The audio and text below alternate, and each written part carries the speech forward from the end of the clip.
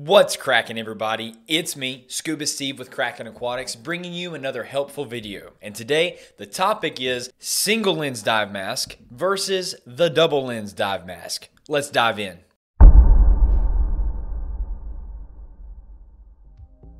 So, if you're a scuba diver or you're thinking about going scuba diving, free diving, snorkeling, just getting in the water, you're probably gonna search for hey, what mask should I choose?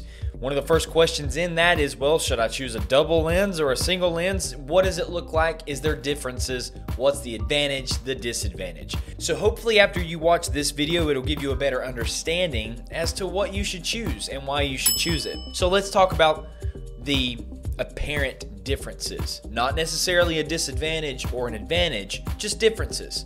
So for the single lens dive mask, it's pretty self-explanatory. It is one single lens, and if it's a good quality dive mask, it's going to be a lens constructed out of tempered glass. A couple of what people would call advantages uh, for choosing a single lens dive mask is for one, you will have a better field of vision as opposed to a double lens mask. Why do we say that? Well, if you look at the way it's constructed, you'll notice the single lens does not have any type of framing uh, to block any field of vision going forward. So, with the single lens, you have really good front sight and peripheral vision. Whereas, if you look at the double lens, it's not that you don't have good vision, it's that you have more of a framework here on the design. It's just how it's built. Whereas the difference for the double lens mask is that here you've got the frame on the nose, unlike the single lens where you can see out that way. Does this make a big difference? From my personal experience in rocking both of these underwater, uh, no, it, it doesn't make any difference for me personally. When you have these on, honestly, it looks like from me just going looking forward, if I look right here, I, I can't really even see I can't even really see my finger in front if I'm just looking forward. Now, if I close one eye, I can see my finger. So even though there is potential visibility here, it does not make or break your visibility. But that is what a lot of people, especially online, will say go with a single lens if you want better visibility. That's not always the case. It also depends on the design of the mask. So, with this Kraken Aquatics mask, you have the frame. If you go with a frameless design, however, you're going to have better visibility in that regard. Why? Well, there's nothing obscuring your vision uh, or tunneling your vision, if you will. You've got more free space because there's no framework blocking the visibility. It's just silicone and your tempered glass.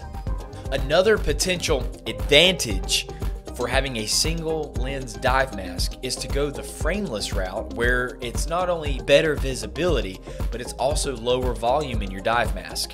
Let me explain.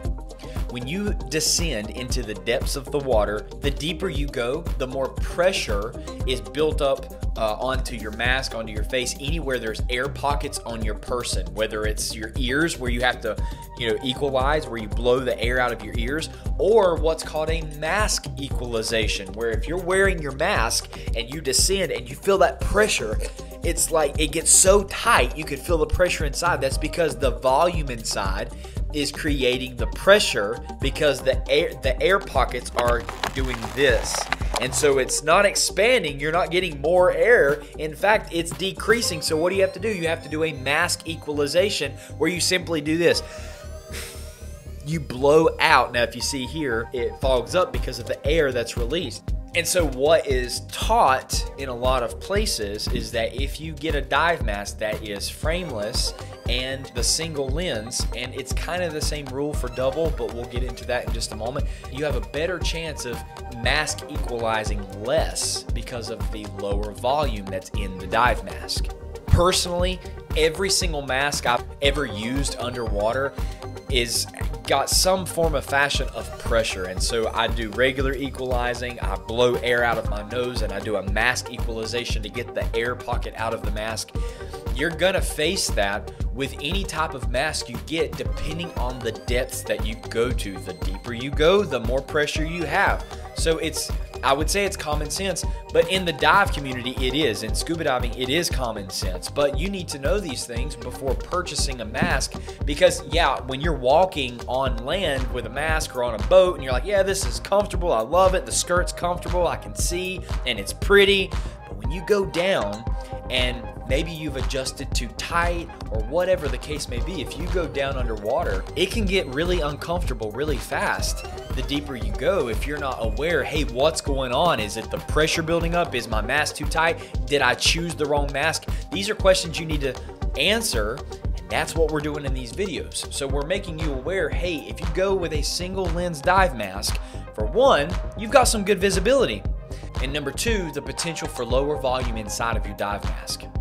So those are just things to consider before purchasing uh, one or the other. Now let's move on to the double lens.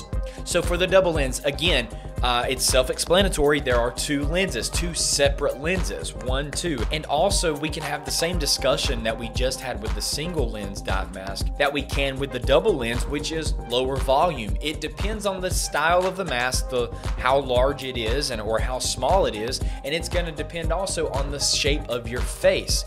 Again, the lower the volume in the mask, the less you have to equalize your mask. And trust me, you scuba divers out there or free divers know all too well that you already have to equalize enough. So one less thing to worry about on your person, especially your dive mask, the better. So before we wrap up this video, there are two top secret pieces of information you need to know before going to another video. And here are those two pieces of information. One, get a mask that fits you. Don't get something too small. Don't get something too large. You have a unique face, different than anyone else's, unless you have an identical twin. Your face is unique, your bone structure, your eye placement, your everything about you is you. Take ownership of that. Find a mask that is comfortable for you. So that's number 1. Get a mask that fits you. Number 2, Make sure the mask you choose isn't just pretty and it has the cool colors and things like that. Make sure it's built properly.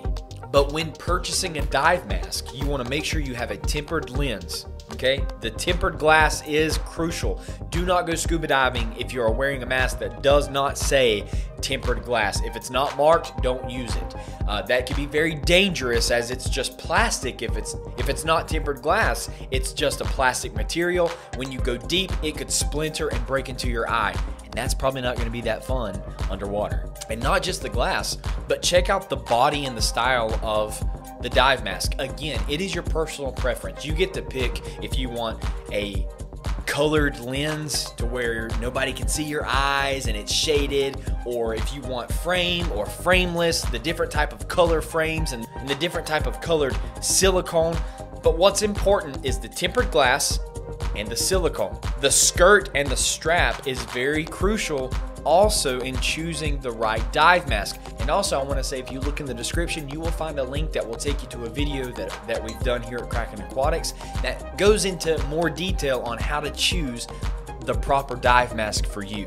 So, talking about the silicone, you want to make sure that it's a good quality hypoallergenic silicone and make sure you don't have allergy to silicone because that wouldn't be fun either. So let's wrap this video up. Are there major differences that are make or break for the single or the double lens? No, there's not. Again, it comes back to personal preference. There's technically not advantages or disadvantages, good, bad, and ugly with these options. Again, it's preference. Whatever you need, whatever you choose, as long as it's safe on you and comfortable and you like what you wear. So, what do you think? Single lens, double lens? Let's have a conversation in the comments, shall we? Make sure you leave a like, comment, share this video, and subscribe to our YouTube channel. And if you need a dive mask, go to krakenaquatics.com and pick yours out today. All right, I'm Scuba Steve with Kraken Aquatics, and we will catch you on the next video.